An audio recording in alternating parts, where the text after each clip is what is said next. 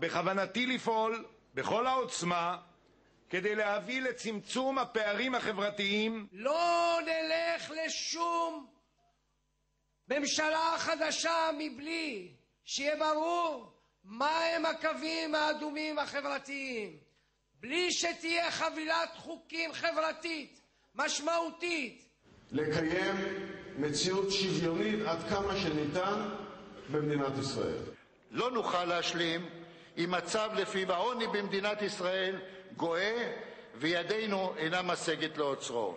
שכל חייל שחוזר הביתה, מדינת ישראל תחכה לו ותכין לו סל חברתי שיקבל אותו.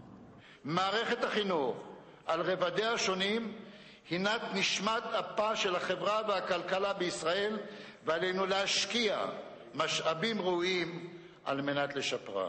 אנחנו נשקיע לאין ארוך יותר בצמצום הפערים החברתיים,